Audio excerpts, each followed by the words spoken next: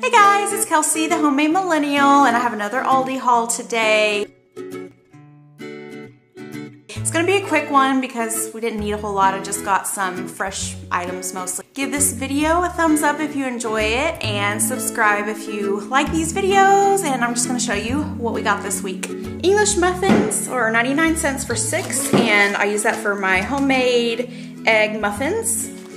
We needed more eggs, speaking of which, and those are $1.99 a dozen, which are a little high right now. They have a sign up that says due to market conditions, the eggs are higher than normal, so I'm just curious to see how that turns out in the next couple of months. But goldfish, it's a necessity for toddler living. it's $1.78.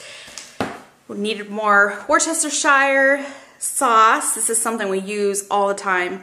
It's $1.19.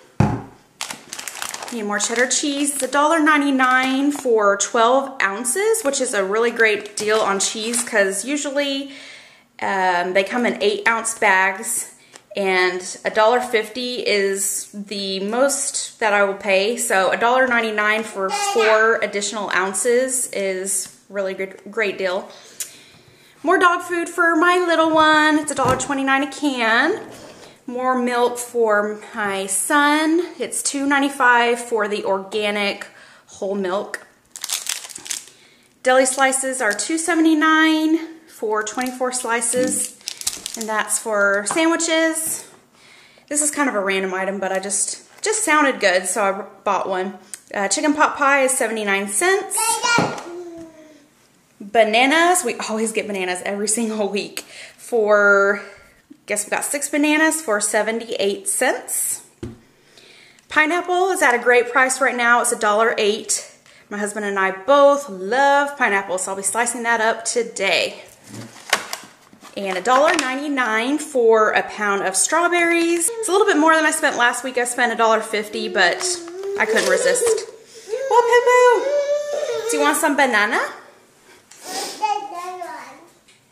This is the meat deal of the week. They are chicken thighs and they're priced at 79 cents per pound. So that is a stock up price, y'all. If you like chicken thighs, go ahead and get some and separate them into bags, what I like to do and freeze them.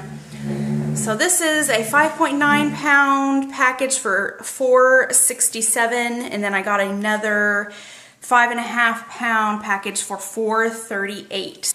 If you have any favorite recipes you like to use with chicken thighs, please comment down below, send me a link, let me know. This was another stock up item. It's the diced tomatoes with green chilies and it's their fit and active line, so there's no salt added, which I prefer because we try to watch our salt intake. And they are 45 cents per can it's not something they have all the time. It's seasonal, so I went ahead and got 12 of those. Avocados were 39 cents, so we got four of those. I'm waiting until they're 25 cents, and I'm gonna buy a large batch of them and make a ton of guacamole, freeze them. I have a video on that if you haven't seen it, but I'm just holding out until um, they have one of those great deals. That is all that I got at Aldi today. Again, we didn't need very much, so I just got a few stock up items and fresh items came out to $40.10. I think that's a great price because I did stock up on those chicken thighs and on the diced tomatoes. So if we didn't get that, it probably would have been more like 25. Thank you guys again for watching and I hope you have a great week and get some great deals.